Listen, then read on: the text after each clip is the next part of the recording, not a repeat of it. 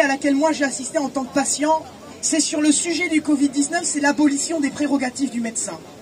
Et je vais donner des exemples. Quand Olivier Véran, et je prends des faits politiques, je ne prétends pas être ce que je ne suis pas, quand Olivier Véran, du jour au lendemain, interdit aux médecins de prescrire la chloroquine, je n'ai pas la prétention de dire ça marche ou ça marche pas.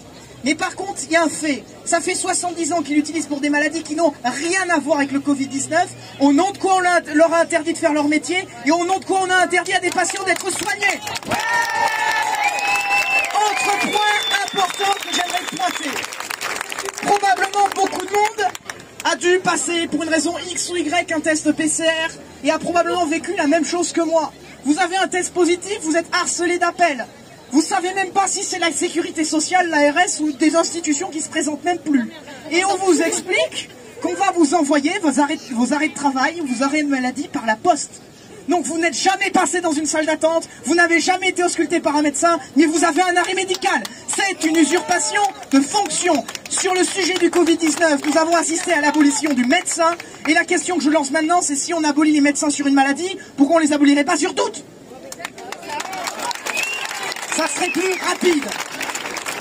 Alors, par contre, maintenant, je vais parler très rapidement des solutions de comment on pourrait faire des recherches de traitement et de vaccins correctement. Alors d'abord, il y a l'Institut Pasteur de Lille, je vais dire ça rapidement. Il travaille sur le repositionnement du clofoctol, donc il cherche des traitements. L'Institut Pasteur de Lille, c'est tout sauf complotiste, c'est une institution officielle. Moi, j'aimerais savoir pourquoi on leur a mis des bâtons dans les roues. Je croyais qu'on était en guerre. On m'a dit qu'on est en guerre. Donc, pour les vaccins, pour les vaccins, moi, je vais apporter sur le plan politique. Macron, il a fait un état d'urgence sanitaire. Je vais préciser une chose, c'est pas un droit, c'est un devoir. Son devoir, c'est de nous protéger. Son devoir, c'est de gérer le pays. Donc c'est normal qu'il fasse un état d'urgence sanitaire. Mais dans un état d'urgence sanitaire, ce qu'il faut faire, c'est que vous allez voir les biotech françaises, vous leur faites, nous sommes en guerre. Comment ça, nous sommes en guerre? On réquisitionne l'usine parce que quoi qu'il en coûte. Vous réquisitionnez l'usine, vous faites vos propres recherches, vous mettez les recherches de manière publique, de manière transparente avec un investissement public. Donc vous éliminez tous les conflits d'intérêts d'un seul coup.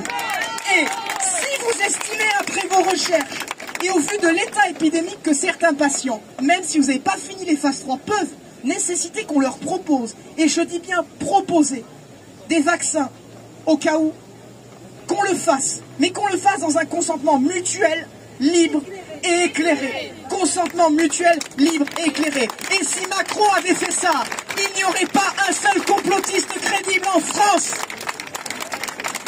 Et j'aimerais pointer quand même un dernier point, j'aimerais laisser une dernière ouverture.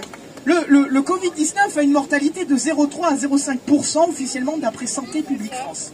C'est pas complotiste Santé publique France, 0,3 hein. à 0,5%. On a pris tout un tas de mesures, ce gouvernement fait des conseils de défense soumis au secret défense, mais ils ne nous donnent pas les données pour prouver que leurs mesures toutes cumulées n'ont pas une mortalité supérieure à 0,3 ou 0,5%. Ils n'ont jamais donné leur balance bénéfice-risque.